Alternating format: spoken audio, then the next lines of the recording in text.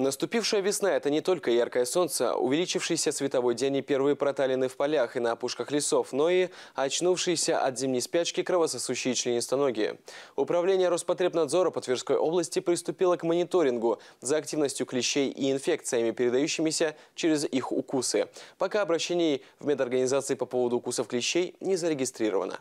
В прошлом году в медицинские организации обратилось более 5700 пострадавших от укусов клещами, 76 из которых – это дети.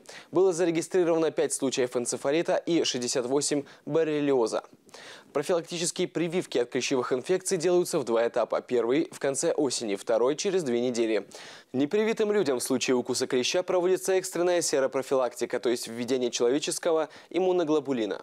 Ее делают не позднее 4 дней после укуса.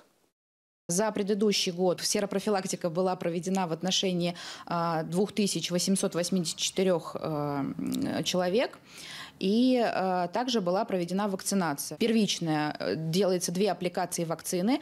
Первая вакцинация проводится осенью, вторая через два месяца. Следующие вакцинации, ревакцинация уже проводится через год, то есть иммунитета достаточно на период активности клещей, либо через 9, либо через 12 месяцев, в зависимости от того, какая была использована вакцина.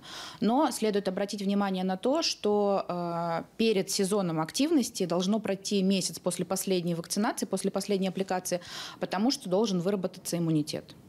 В ведомстве напоминают, чтобы не стать жертвой укуса, нужно соблюдать неспецифические меры по профилактике клещевых инфекций. Это ношение специальной защитной одежды, применение специальных химических средств индивидуальной защиты от клещей.